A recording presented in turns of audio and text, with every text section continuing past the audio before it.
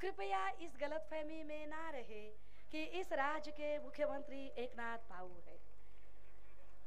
इस राज्य की सभी लाइनें, सभी खाते, सारे डिपार्टमेंट, सारे सेक्रेटरी आयुष्मान देवेंद्र जी को ही पूछकर काम करते हैं।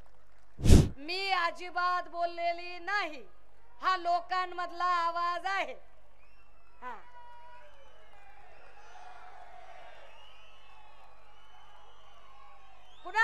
कोणावर केस कराल. कुणा कुणाला नोटिसा पाठवाल. विजय बापू शिवतारे आता नोटिसा कुणा कुणाला पाठवाल जेव्हा गावागावातले लोक पन्नास खोके आणि एकदम ओकेच्या घोषणा देत आहेत. कुणा कुणाला नोटिसा पाठवतील विजय बापू शिवतारे? विजय बापू शिवतारे तुम्हाला नोटिसात पाठवायच्या तर तुम्हाला लाख वेळा सांगितलं. असेल हिंमत तर पहिली नोटीस रवी राणाला पाठवा. कारण रवी राणाने डायरेक्ट आरोप केला बच्चू कडून वरती.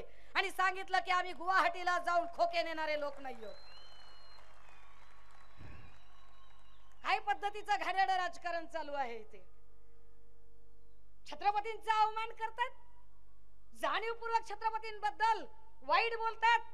जेव्हा गुजरातची निवडणूक लागते तेव्हा इथून इथून महाराष्ट्रातले सगळे उद्योग गुजरात मध्ये पोहोचवायचे गुजरातच्या जनतेला खुश करायचं. आता कर्नाटकचं इलेक्शन आहे. मग महाराष्ट्रातली गावाच्या गावं तोडायची आणि कर्नाटकला जोडायला बघायची. आणि कुणीच बोलत नाही. तिकडे आमच्या गाड्या तोडतात महाराष्ट्र पासिंगच्या गाड्या तोडल्या जातात नंबर प्लेट काढल्या जातात. कर्नाटकचे मुख्यमंत्री बोंबई आक्रमकपणे बोलत राहतात. आणि आमचे मुख्यमंत्री कुठं? गरबा खेळायला. आमचे मुख्यमंत्री कुठं? आरत्या करायला.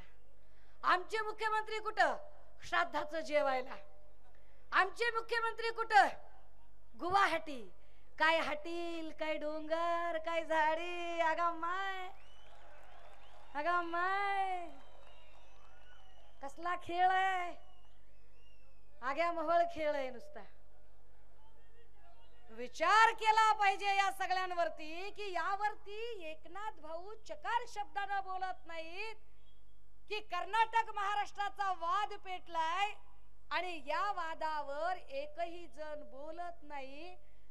महापुरुषांचा अवमान होतो त्यावर बोलत नाही. ना राज्यपालांना परत मागवलं जात ना महापुरुषांचा अवमान करणाऱ्या सदस्यांबद्दल अजिबात ना त्यांना सस्पेंड केलं जात.